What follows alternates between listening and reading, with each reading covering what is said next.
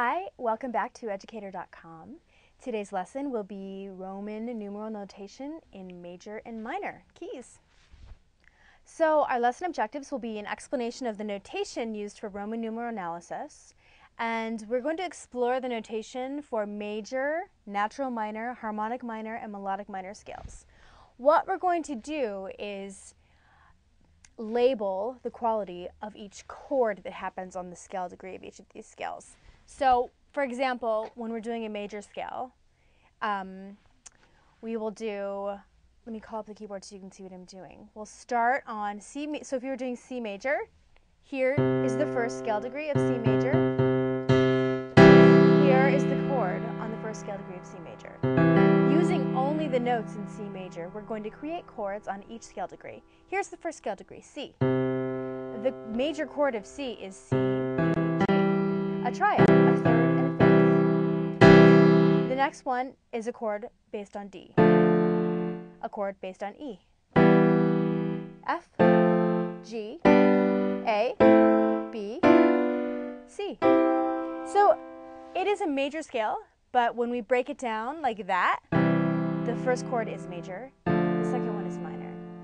So we will explain that in just one second.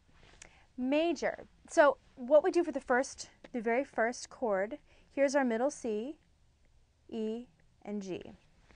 You remember from our lesson on major triads that the space between a major third, the first note, you count five half steps beginning from the C. One, C, two, C sharp, three, D, four, D sharp, five, E. This is a major third.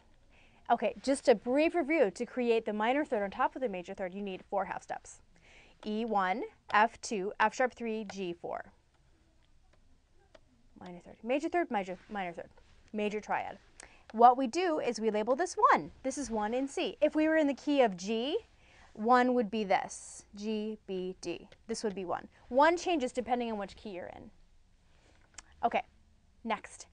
The major scale, second scale degree. So let's go back to C. We already have C. We'll add our C right here. Our new chord will begin on D. D, F, A. This is a minor chord. Why is this a minor chord? There are, let's count between the first note and the third. 1, D, 2, D sharp, 3, E, 4, F. Four half steps equals a minor third. Okay, moving on. The next scale degree is, um, in the major scale is E, and let's add our first one and then two. Now we have EGB, E, G, B. This is also a minor quality. We label it lowercase Roman numeral 3. Next, we have a major chord, F. It's capital Roman numeral 4. 1, 2, 3, 4. Okay, next we have 5. 5 is also major. Okay, so GBD, major. Next we have 6, A, C, E. This is minor chord. A, C, E. A1, B flat 2, B3, C4. Four half steps between the first note and the third.